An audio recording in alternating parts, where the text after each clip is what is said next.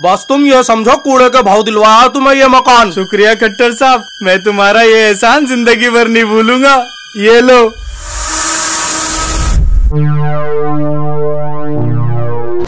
इस लाइट को भी अभी जाना था।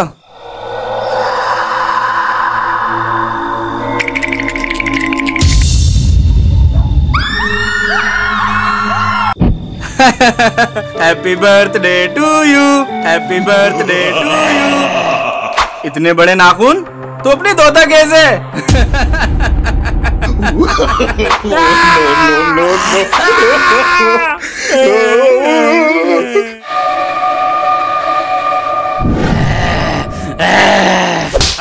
साला नींद खराब करता है। भाग यहाँ से। माँ, मेरी शक्तियों का गलत इस्तेमाल किया जा रहा है, माँ। मैं वापस आ रहा हूँ।